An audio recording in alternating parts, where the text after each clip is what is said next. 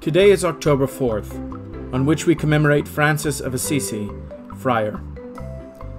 The son of a successful silk merchant, Francis would grow up to be a typical wealthy young man of the late 12th and early 13th century. His life would be defined by luxury and excess, punctuated by soldiering in the seemingly constant wars between the bickering Italian city states. It was during one such conflict that Francis' spiritual awakening began. Over the course of the next few years, he would renounce his father's wealth and all possessions, and devote himself to living among and serving the most poor and wretched of his community. In the early days of his life of poverty, Francis spent most of his time living as a beggar and working to restore the abandoned and dilapidated churches which dotted the countryside around Assisi.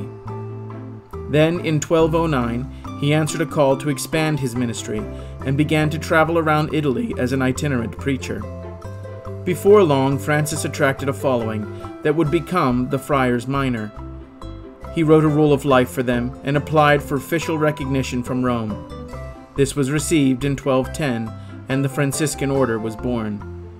Together with his ever increasing brotherhood, Francis spent his life living in total poverty and preaching the gospel wherever he went. Francis was always looking for ways to carry his message beyond Italy. In 1219, he traveled to Egypt during the Fifth Crusade and crossed enemy lines to preach. So impressed was the Sultan that he graciously heard Francis' message, and though unconverted, he allowed Francis to return unharmed. Upon returning home, Francis realized that his small order had grown into a great movement that he could no longer manage. He turned over leadership to more capable administrators and devoted the rest of his days to prayer, preaching, and good works. He died on this day in 1226.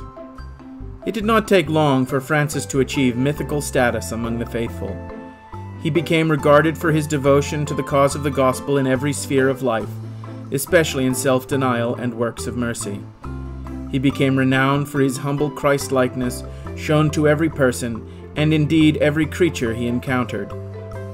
Francis of Assisi is to this day one of the most lauded and venerated followers of Christ that has ever lived.